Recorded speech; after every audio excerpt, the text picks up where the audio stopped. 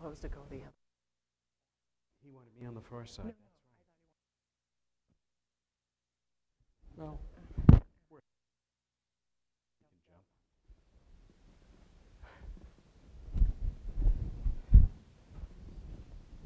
We're going to talk about starships. Why are you leaving, Andre? I'm not. I'm kidding. Sort of like college class, everybody sits in the back so they can leave if they want to. Well, we can't see you and in the uh, bright lights. Uh, hello, everyone, first of all.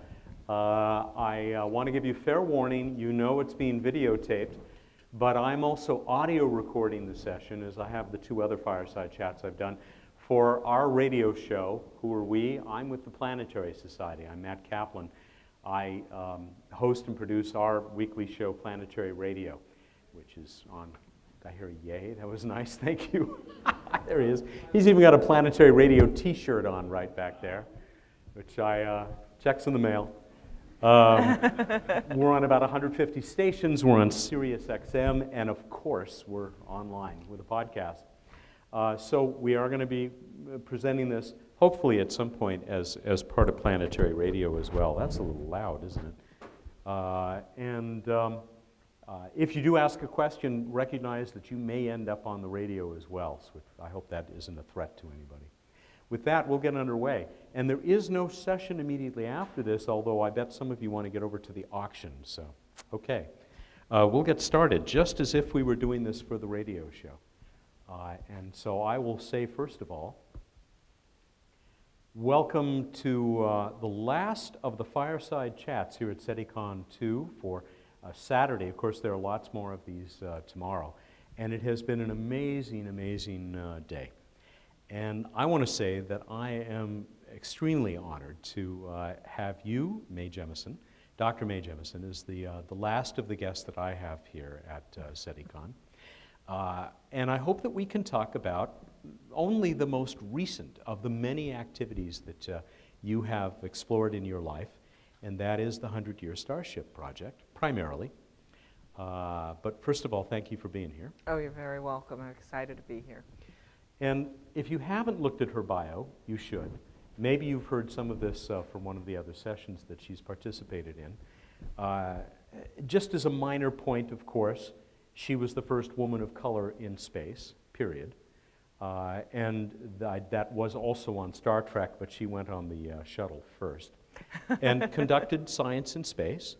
Uh, some unprecedented science, I think, uh, but was a practicing MD, uh, actually in general practice in Los Angeles, I mm -hmm. think, before going to, into the Peace Corps? Well, no, actually, I, um, mm. I, I, did general practice in Los Angeles, and I was area Peace Corps medical officer for Sierra Leone and Liberia for two and a half years. Mm. In West Africa, um, and then I came back and I worked in Los Angeles for a while as a doc and and was selected for the astronaut program. It, it's a total sidelight, not worth more than a few seconds, but you, uh, among other things, were introducing heat engines, the Stirling heat engine for cooking in Africa? Well, um, actually, so part of what's interesting to me, I don't know about for others, is how your experiences actually lead you to certain places and how they form a background for the things that you know and do and how you have to use your experiences when you get an opportunity to do things or be at, a, at, a, at the table, so to speak.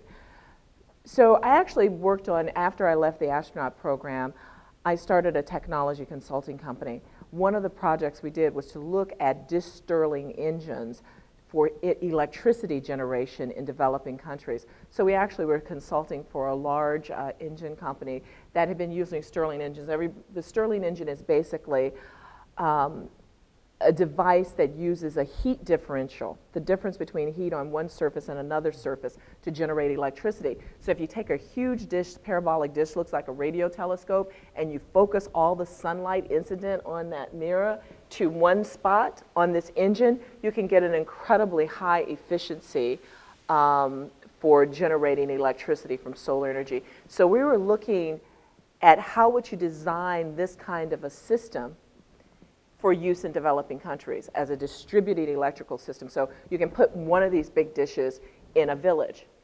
what are some of the cultural, social, academic issues you have to understand to do that?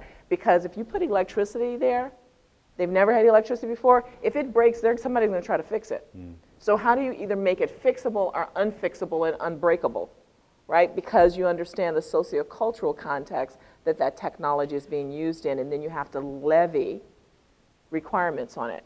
I find that very exciting because that's what we do somewhat now, right? But we don't think of it, we don't bring it to consciousness. But as you're trying to do something in another country, then it needs to, needs to work.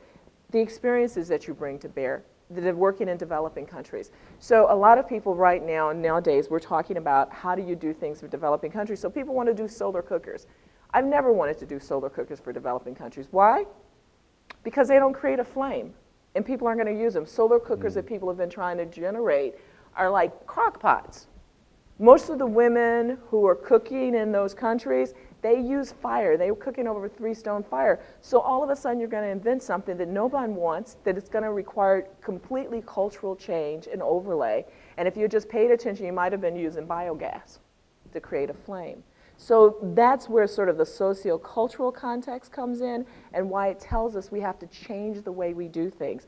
That's what we also want to bring and understand as we go into space, how we use these tools. And even further, if we start talking about actually going to another star system, which we are talking about, going to another star system, what socio-cultural mm-hmm. context mm -hmm. do you bring to bear? How do those things uh, uh, impact the questions we ask and what we want to do with the technologies. And that's exactly what I found so interesting about this, because it does tie directly, I think, to not just the 100 Year Starship project, but your approach to it, because you're considering every facet of it. I do want to admit, first of all, stupidly, that I got it exactly backwards talking about Stirling engines for cooking when it was the heat to do other things like generate electricity. But those social factors and cultural factors which are very much a part of, and I bet were also a big part of the, your winning proposal that got you this uh, basically seed money from DARPA. Right. I, I, I sort of think as the, the seed money, $500,000, that's a, that's a nice amount of money for a startup. You know, a lot of startups really would love to have that amount of money, but it's not really that much money, right? Um, but what you get, I think, are sort of, you get DARPA's imprimatur that they think you can do this, which is really very invigorating and very sobering. And I have to say that I'm working with a team of incredible people that bring to bear lots of different talents and, and that we have to blend together. So as I'm looking at this, I, I mentioned that you know, the team, the main, three main team members were the Dorothy Jemison Foundation for Excellence, which is an organization I've had, since 1996. It's named after my mother, who taught in the Chicago Public Schools for 25 years, and uh, my technology consulting company. We sort of came together and were primed for this, leading this. Um, Icarus Interstellar, which is a group of astronomers, astrophysicists, engineers, and others who have been looking at creating a design for an interstellar probe using fusion energy, and a Foundation for Enterprise Development, which is a organization that looks at governance of technology and innovation companies. So you can sort of see that there is this blend, this mix of looking at how do we work um, through large problems, through grand problems. Getting this was both invigorating, yay, we got it, we, get, we, and it's also sobering. It's sobering because it says, well, people, DARPA, right? That's pretty cool. DARPA believes in you enough that they want you to try to create this non-governmental organization that can help to, let's say, shepherd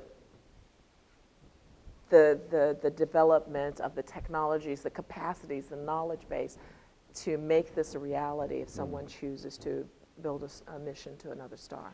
Sobering for you, maybe, but, and I'm not going to pretend to be in the least bit uh, objective or neutral about this because I am in awe of the fact that this has been taken on. And uh, kudos to you and to DARPA for feeling, uh, for, for deciding to put some money into something which is um, so far beyond our current grasp, which I find enormously exciting. But of course, it falls to you to uh, find the rest of the money that you're going to need to make this work. and that's a big part of it, right? The fundraising. It's a big part of it. But I want to go back and make sure that we understand there were a number of teams that were interested in this, and we want to make sure that we include them in our whole process because no one organization can make anything like this happen. Mm-hmm. And in fact, it's no one nation can make this happen. It's going to be that collective capacity to generate a global aspiration that will eventually get us those capabilities. So I want to make sure that it's clear that um, we've been ones, the ones entrusted to sort of get everything going. Yes, we have to go out and find money. I don't want to say anything more than that, and we're going to try to find money. The good news is that right now, space is in the news, right? Mm. People are sort of saying, even um, the government has a role. We want the government to continue in many ways because the fact that people were out there looking at the shuttle as a discovery that was being transported in Washington, D.C., stopping things and saying, wow, I didn't know the shuttle was going to be ending. Or in New York City, New York City, people are stopping out on the street, out up on the top of rooftops, looking at the Enterprise. Um, a flight model, test model coming to New York City, it says that there's an ability to captivate folks. You know, we are looking for those grand challenges as a nation, and really, I think, as humans right now. We want to be able to say that the advances that we made in terms of our attitudes toward one another, that we, you know, this regression that we're seeing now that is getting a little bit more violent, we need something else to use our adrenaline for, I like to think. Mm. Humans need an adrenaline rush. We need something else. And I think 100 Starship is our interstellar flight, our space exploration is one of those things that we can do. I, I agree with you. And I think that 100 Year Starship is one extra piece of evidence that we seem to be entering back into an era of optimism, of thinking, of taking on big ideas, big goals. And I think of on the commercial side, uh, the folks who are putting together a company to mine asteroids. We were talking about that with uh, Tom Jones, the company called mm-hmm. Planetary Resources. Right. People like Elon Musk, uh, and even the folks who want to make money taking rich passengers up into uh, suborbital space.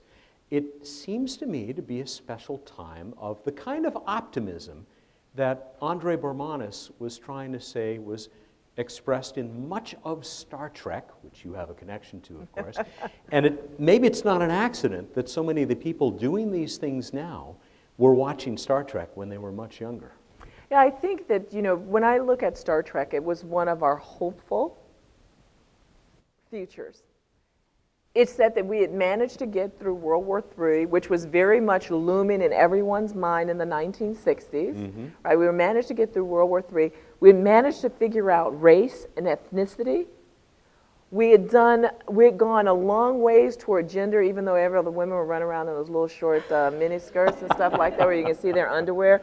But um, but we, there was the first time we had a television program where we had a woman technical person, Lieutenant Uhura, who was in the episode every every time.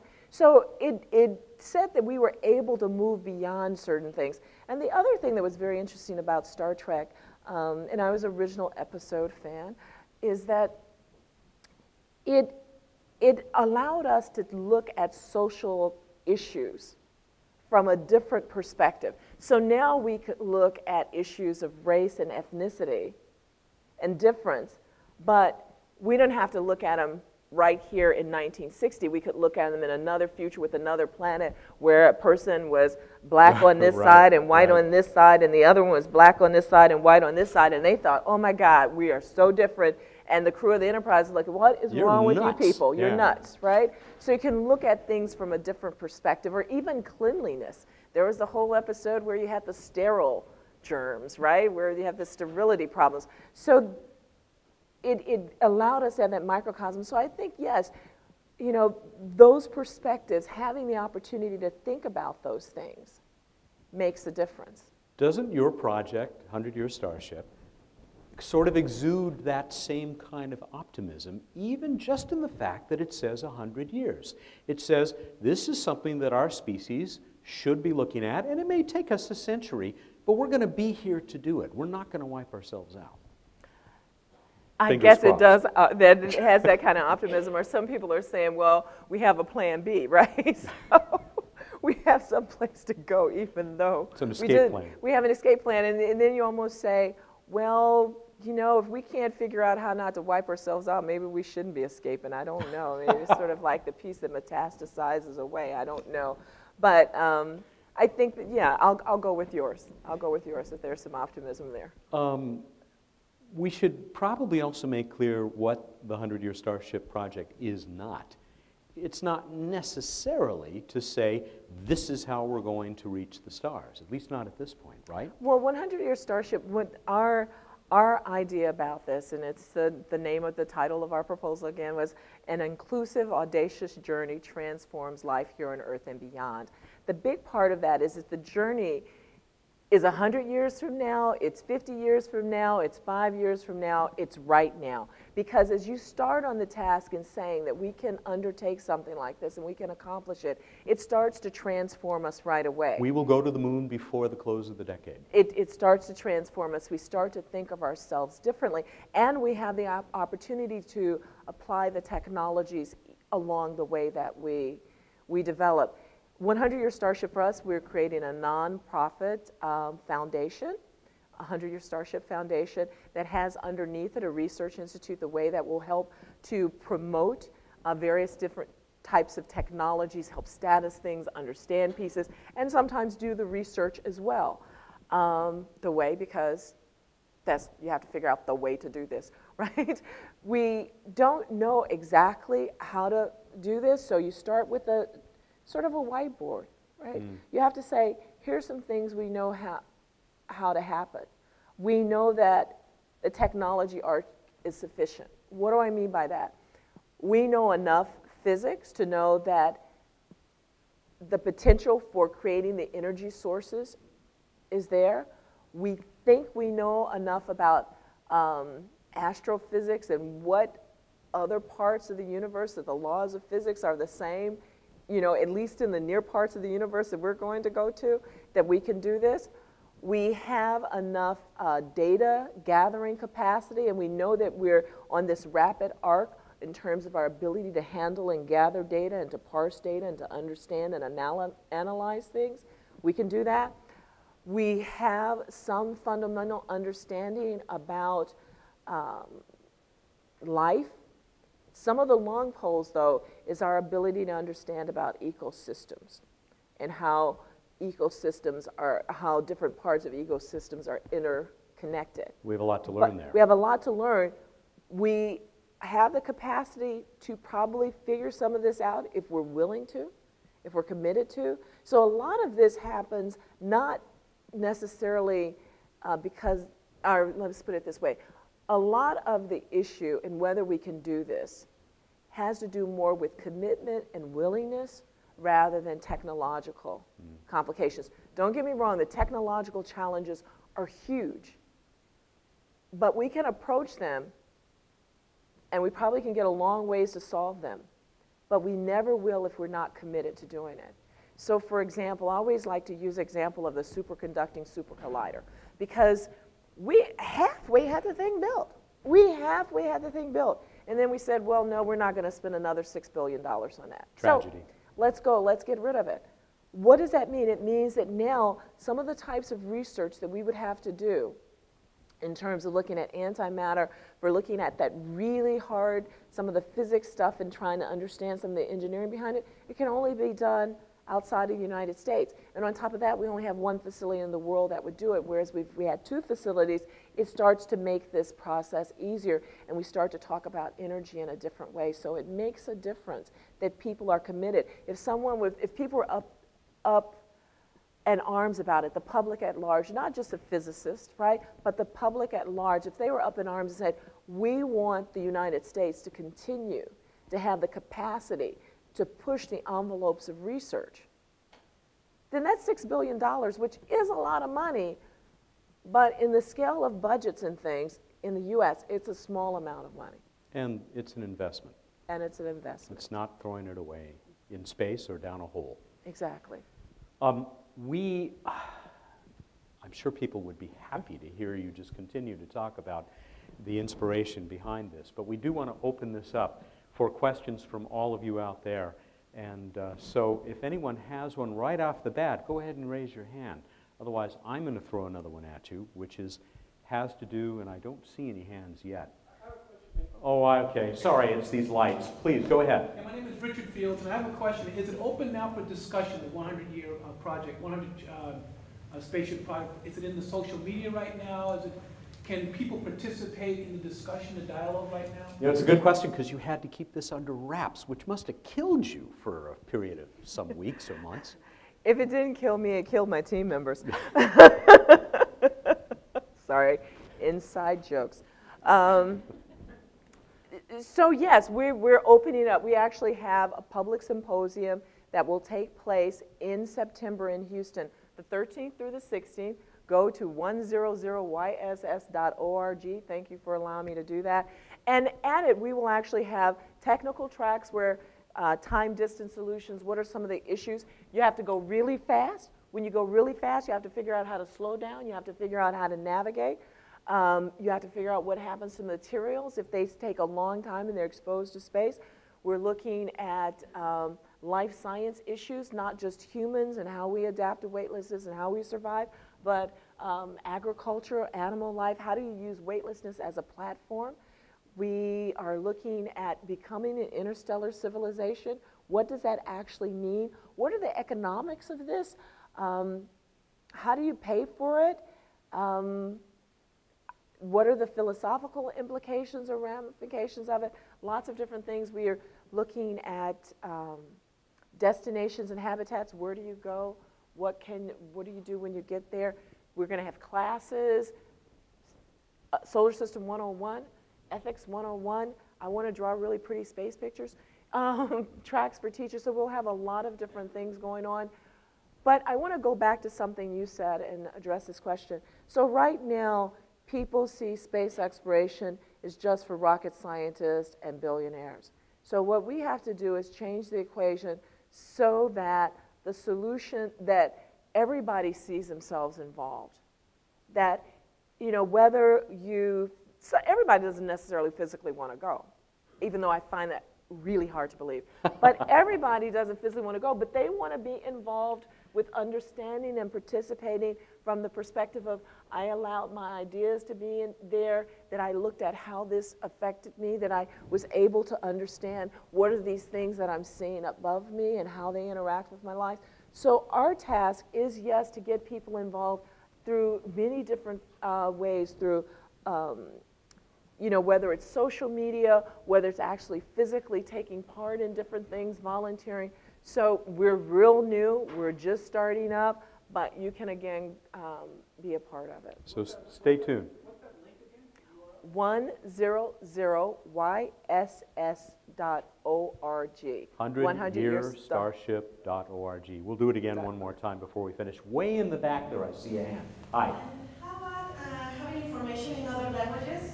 I know English is uh, the main way to communicate between um, countries that doesn't have, have uh, this language. But I think that you, uh, since this uh, enterprise is going to take a very long time and you have to get everybody involved at the end, you should, uh, um, I don't know if you have this uh, information available in other languages so people from different countries can join, can learn and join to the... What is your native language? Uh, um, Spanish. I'm from Mexico City. Is that one of you? I know you speak five, right? So.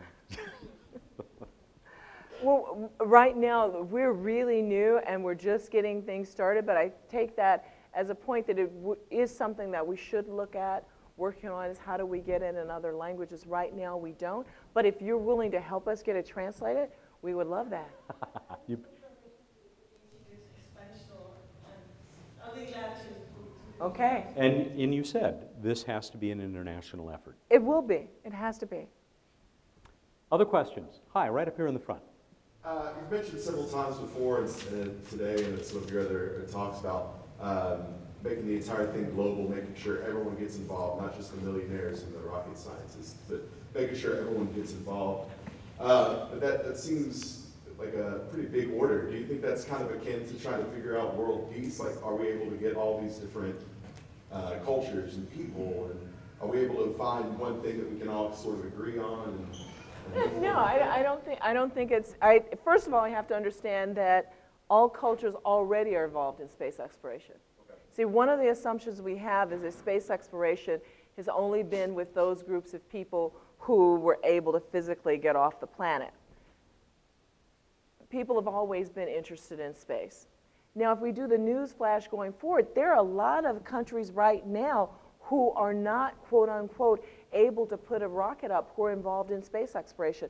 If we even just go to the folks who are involved with the International Space Station, just with NASA, there are lots of countries involved. Do you know that um, I mentioned um, before about South Africa and having the square kilometer array and how a lot of the astronomy uh, was actually done. If you go back into the 1800s and different places, astronomy was done even from the Western point of view in a lot of different countries. So I think from our perspective with 100 Year Starship is that we are open and we know that we're going to actively involve other countries, other people, a wide swath in, in what we do. I want to give you another example in terms of how do people get involved. The woman who dressed me in my orange flight suit, I have this little cute orange flight suit picture. The woman who dressed me in my orange flight suit, which is that's the launch and entry suit, that's what you actually wear on the vehicle when the shuttle is going up. That's what your life depends on. She was the first person in her family to graduate from high school. And her, her name was Sharon McDougle. She dressed SR 71 pilots before she came to the astronaut program. I mean, came to the to NASA and the shuttle program. So that's a, that's a perspective that's different. We know that, for example, prior to 1978, uh, NASA had actively left women out of the space exploration. So when you actively got them involved, that mm. starts to change things. So it's not so much a matter of, wow, it's world peace. It's just saying, open the doors. Time for maybe one more question from the audience. Does anyone out there have their hand up that I cannot see? Okay, I will close There is with one one. Oh, there is one. I'm very sorry. Yes. Yes, ma'am. I just wanted you to speak a little more to the educational effects, because I know you remember very well through all your work, what happened with Sputnik, what happened with education, just in primary, secondary schools, once people get that idea, get that spark, uh, even if they're not leaving the planet. So I, I assume that that's part of what you're, And before you answer that, I want to point out that you have something in common with another American female pioneer, Sally Ride, in that you started an organization to help bring young people to science. And Right, in, in 1994, I started a program called The Earth We Share, which is for kids 12 to 16 years of age. And we were looking at building critical science, uh, critical uh, thinking and problem solving skills because that's what I think science really brings to bear. And we wanted to do that in terms of science literacy, not necessarily the next generation of scientists. Because if you get science literacy, then you'll get the next generation of scientists. You'll also get a respect and an understanding of science from the, all the people who are making decisions and knowing that they can be involved and it's not this mysterious thing. Um, when we look at 100 Year Starship, yes, education becomes very important. And again, that is from a science literacy point of view, all the way to the folks who end up designing the rocket engines or designing the nutritional systems.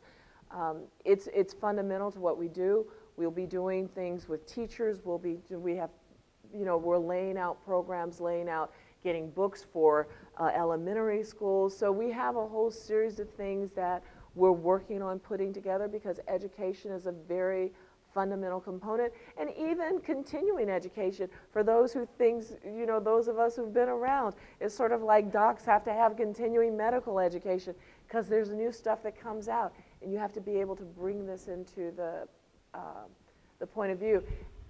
Education is really important because as congress is making decisions we said about the planetary um, sciences for nasa their decisions might be very different if their science literacy levels allowed them to understand why this is necessary, that you can't necessarily just re-up it a little bit later. So science literacy is important across the board. I'm going to close out with using my prerogative as a moderator to ask one last question. And I think you've already answered this in a way. Your project, let's say, is successful beyond, perhaps not your wildest dreams, but beyond the wildest dreams of a lot of people. And uh, there's a starship ready to go in 15 years. Do you want to be part of the crew? I'm on, I'm on prerogative as the lead of the project. I get to go. Please join me in thanking Dr. Mae Jemison for joining us.